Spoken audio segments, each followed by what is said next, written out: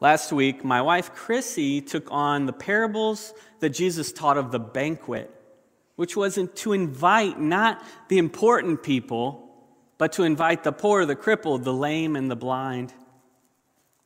And those who exalt themselves will be humbled, while those who humble themselves will be exalted. That was the great welcoming table for all. And this week, I'll be focusing on gathering together from the book of Ephesians.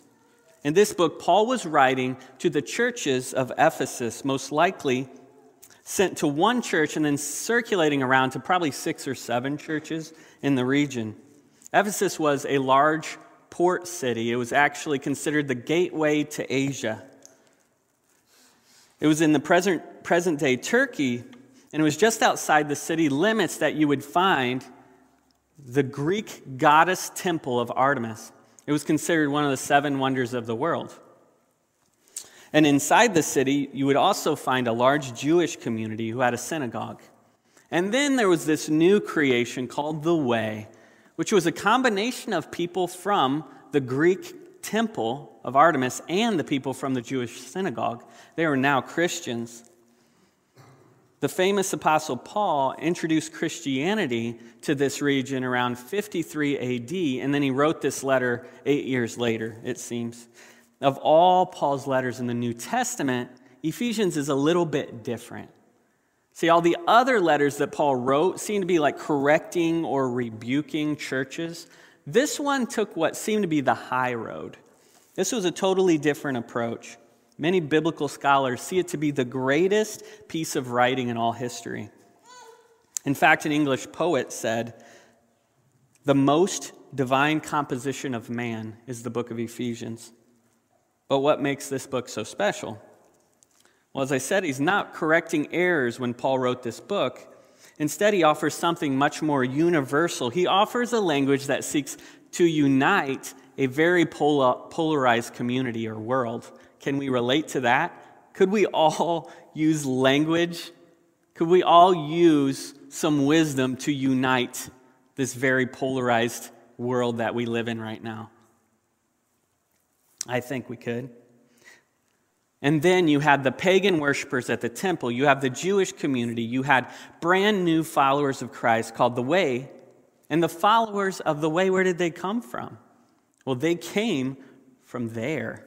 They were local. They traded in the marketplace. They lived amongst each other. They were the pagan worshippers at the temple of Artemis. They were the Jewish worshippers at the synagogue, coming together deciding this is this new faith that we want to follow. This is the way.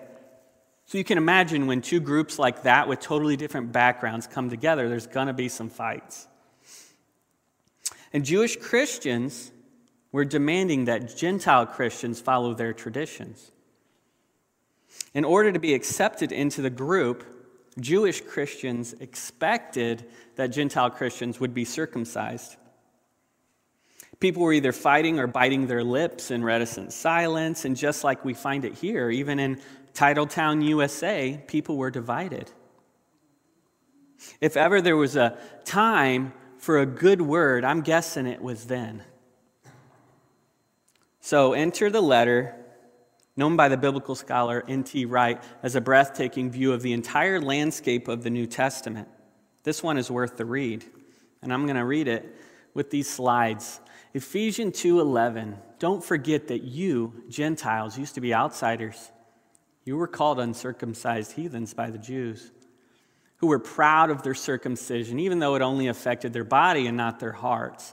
In those days, you were living apart from Christ. You were excluded from citizenship along the Israel, the people of Israel, and you did not know the covenant promises God had made them. You lived in this world without God and without hope but now you've been united with Christ. Once you were far away from God, but now you've been brought near to Him through the blood of Christ. For Christ Himself has brought peace to us. He united Jews and Gentiles into one people in His own body on the cross. He broke down the wall of hostility that separated us. He did this by ending the system of law with its commandments and regulations, and he made peace between Jews and Gentiles by creating in himself one new people from two groups. Together as one body, Christ reconciled both groups to God by means of his death on the cross, and our hostility toward each other was put to death. He brought this good news of peace to you Gentiles who are far away from him, and peace to the Jews who are actually near. Now, all of us can come to the Father through the same Holy Spirit because of what Christ has done for us. Can you imagine the change in attitude? When these people who were completely divided heard this, can you imagine the reckoning that they might have been feeling? I can imagine some of them maybe like put their heads down in shame, realizing how much fighting they were doing. When Christ had actually taken those two groups and made them one, he had put to death the division. But we all know that even though Christ put to death the division, it takes our own actions to change that today in many ways. It takes our own ability to say, I am not going to divide anymore. I'm going to find ways to make peace. It's almost like there was a silent reckoning. They realized that they were dehumanizing each other. But I'm sure for many others it took time. And recently, I watched the movie Remember the Titans with my girls. This movie was done about 20 years ago. It's actually from a book and actually a true story that happened in Alexandria, Virginia. That was 1971. I think it's quite amazing that this is Black History Month because we had just studied that. And I realized that just four years ago, I lived 10 miles from Alexandria, Virginia. Um, and that's also 10 miles from the center of Washington, D.C. So at that time, segregation and exclusion was the common. That was it. Up until this point, the high schools had been completely segregated, as you might already know white students in one school, black students in another. However, the law changed, and it forced this high school, T.C. Williams, to bring them together in one school for the very first time. And if you've seen the movie, you know it caused so much chaos. It became the battleground for racial tension in America. So, to appease the black community, they hired a black coach named Herman Boone. They hired him over a Hall of Fame coach.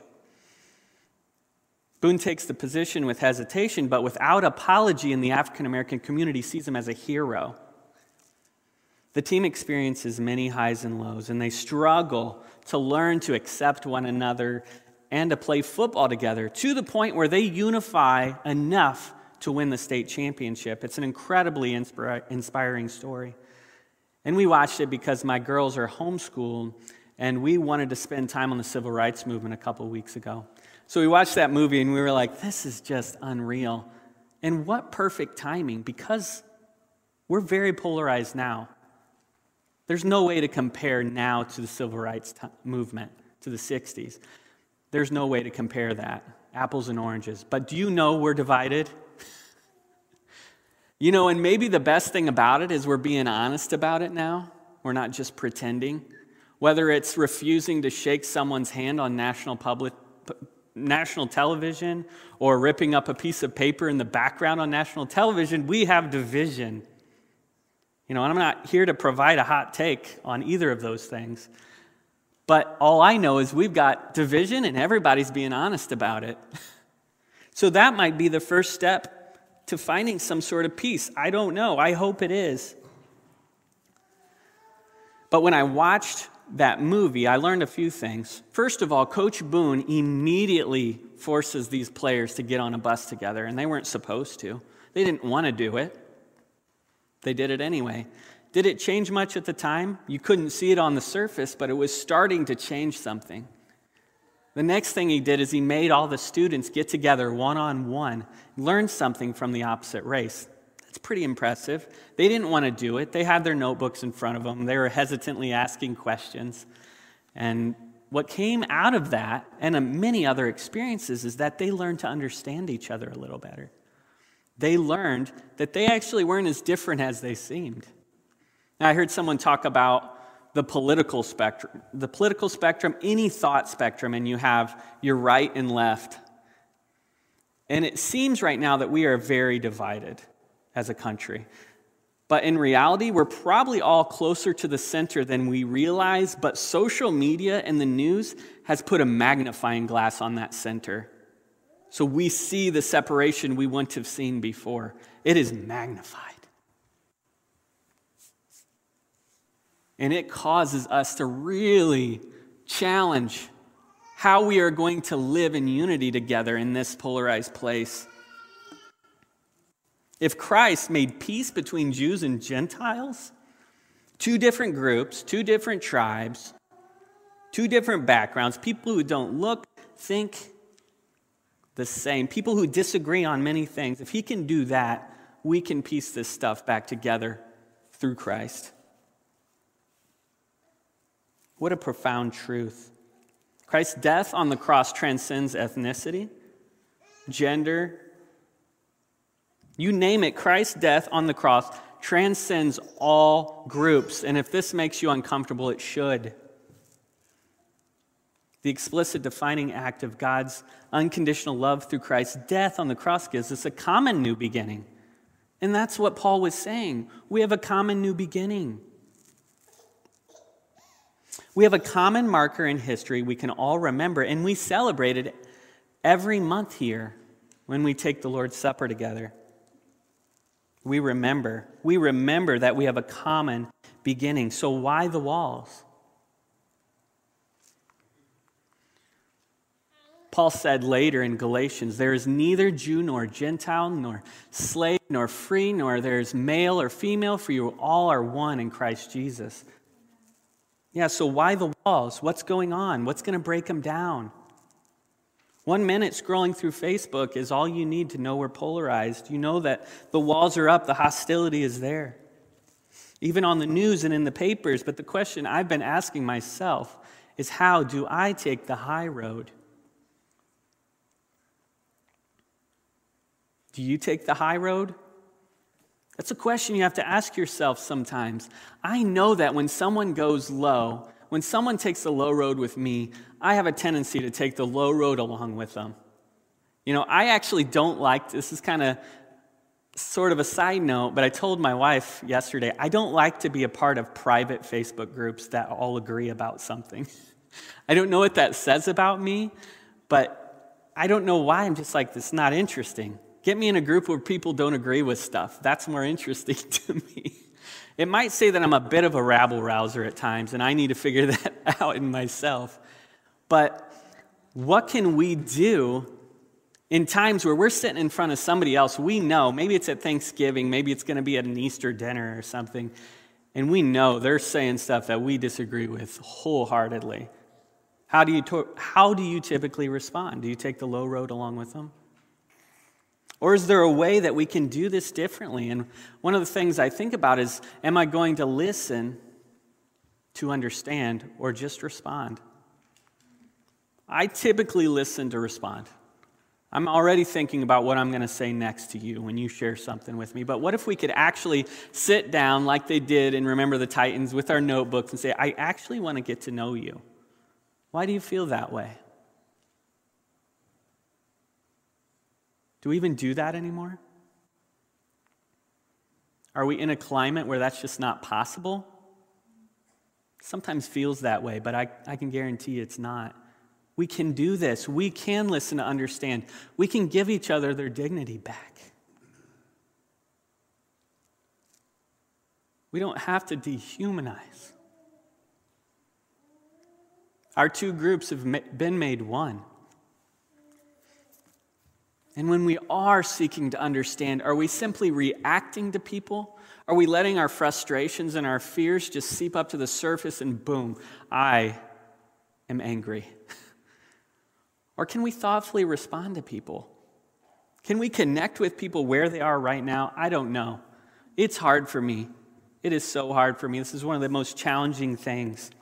It's easy though, to only surround ourselves with people we agree with. You know, you kind of hunker down in your echo chambers. It's easy to do that, but it's really hard to get around people who don't think like us, act like us, who don't look like us. But life is inevitably, inevitably filled with that. We're constantly with people that don't think like us. don't look like us, don't come from the same backgrounds. But if we just stay in our caves, we're just going to isolate ourselves and eventually dehumanize the people around us. And it's just another brick in the walls of hostility. But Christ made peace between Jews and Gentiles. 2020 is gearing up to be another year of polarization. We already have six, five weeks or so, six weeks of that. You see it all over the place. And no one is pretending to like each other. We can choose to stay silent we can choose to stay neutral and assume that things are going to get better, or we can show up. And when we are in those positions where we have the choice to respond or react, are we going to choose to be right or are we going to choose to be light? I've heard that recently, and it sounds a little silly, but are we going to be light? How we respond and react to people matters. My mom used to always say she was a motivational speaker for a Lincoln Financial Corporation. She traveled the United States. And she used to always say, People don't care what you know until they know that you care. And that's always stuck with me. Now, has it always been how I've responded? Absolutely not. But I do know that because I know it for myself. The people that I respect the most are the people that I know care. So, are we going to show up and care? We can seek out people that think differently than us. We can choose to be light. We can choose to passionately humanize people and refuse to go low by excluding people based on how they're not qualified, based on their political affiliation. I know I'm not supposed to talk politics, but that's the division, so I'm okay with it. If it makes us squirm in our seat, good. Let's be honest. We're divided. That is not the way of Christ. I thank God for Pilgrim Congregational Church, where I see people who think differently, who have different backgrounds, but are choosing to be family anyway. And I see that happening here all over the place. But we still step out of this place. We still go into the workplace, we still see our families and our friends and our strangers that are around us every day. Listen, I know it's not easy. I don't even do it most of the time, but we can't pretend like division doesn't exist anymore. What if we pursued peace? There's a big difference between keeping peace and making peace. Making peace is not passive, it takes a lot of intentionality and hard work. There's a pastor and author who said the church is not to be found at the center of the left and right. The church is to be a species of its own, own kind, confounding both left and right and finding its identity from the grounding center of Christ's death on the cross. That's hard. Center, neutrality, it seems to be the right approach, but it's not. We have to transcend that. We have to transcend that because our grounding doesn't come from the political world or even the theological debates of our time. It comes from the grounding center of Christ's death on the cross that broke down the hostilities that separate us. Amen?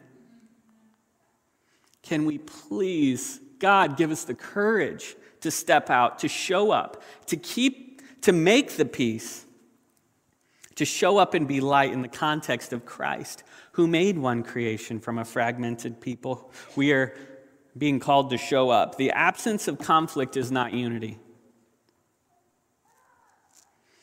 I've been in plenty of situations. I was trying to think of stories to tell of my own life. Like, ah, this stuff hits too close to home. I can't, I'm not sure I can share some of this stuff yet, but you know, I've been in plenty of situations where I've realized that the absence of conflict is not unity. Just because I'm staying silent doesn't mean we're unified. Unanimity is not unity either, is it? Just because we all agree, just because we all think the same, that doesn't make unity. Our church, in the congregational way, says that we are free thinking and we are welcome to diverse thought. So, if that's who we are, we are a body that's full of diversity in thought, in backgrounds. And we celebrate that. We welcome that. That's what we want. Bring it on. More of that. Our unity comes when we gather together in one body. One body with a common truth. And I'll read this again from Paul. Together as one body, Christ reconciled both groups. He did this by means of his death on the cross. And our hostility toward each other was put to death. Let's remember that every day. And let's pray. God, I thank you so much that you have brought two groups together as one.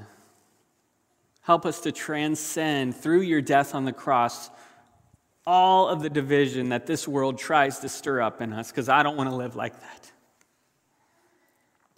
And I thank you for how you are bringing things together.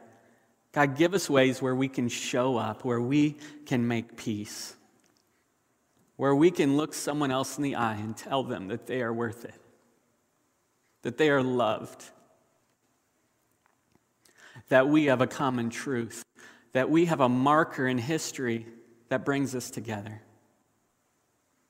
Thank you so much for showing us with your great convincing love through Christ's death on the cross that we could be made one. In your heavenly name, amen.